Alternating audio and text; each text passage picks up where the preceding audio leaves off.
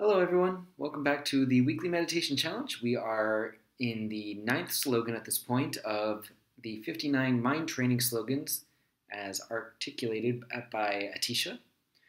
Um, this slogan is pretty self explanatory. It's in all activities, train with slogans. So we're training with these slogans. Um, there are many, many different ones in this particular set. And what I encourage you to do is to flip through some of them.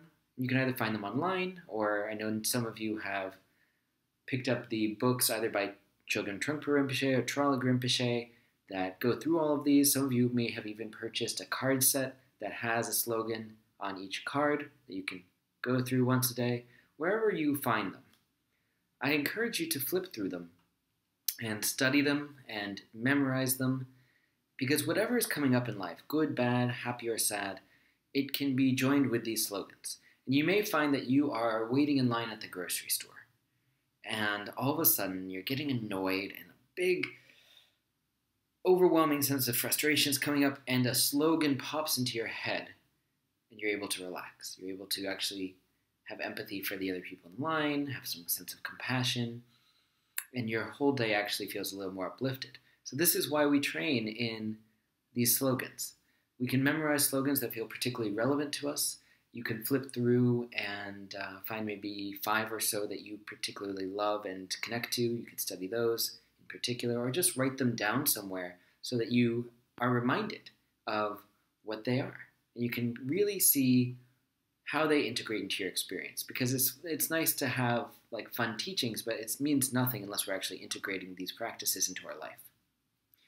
Traleg Rinpoche actually said in his book on Lojong, he said, every time we remember a slogan, it will automatically help us not to react to things in our usual habitual way. So we're slicing through our habitual mind. We're allowing instead for our open heart to pour forth and actually connect with others. So if we actually train in slogans with all of our activities, we're actually reminding ourselves to keep an open heart we're actually reminding ourselves to connect more compassionately to others. That's why we do this. And there's particular slogans that people often recommend in addition to these um, 59 mind training slogans. Chogyam Trungpa Rinpoche, in his reading this week, he said, uh, May I receive all evils, may my virtues go to others. That was one slogan that he recommended. The other is profit and victory to others, loss and defeat to myself. These seem very heady to me personally if you love them and connect with them, you could even um, think and reflect on them.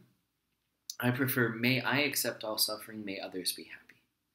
What we're doing with these particular types of slogans is training ourselves to connect more authentically, to not always want only what me, me, me, what I need and think I want, but instead to set that aside for a moment and say, oh, maybe I can actually try to be of help to others. Maybe I can take on their suffering or their pains and I want them to be happy. So may I accept all suffering, may others be happy. If you connect with that particular slogan, please take that on and try to reflect on it in your morning meditation practice. As you conclude your morning meditation, just recite this to yourself, maybe a few times in your head, out loud. May I accept all suffering, may others be happy. If you prefer Trungpa Rinpoche's slogans, or if you want to take one of the slogans from Atisha and reflect on that instead at the end of your practice, fine. But the challenge this week is at the end of our daily meditation practice to take on a slogan. Atisha's, what Chogyam Trungpa Rinpoche said, or the one that I just offered, may I accept all suffering, may others be happy.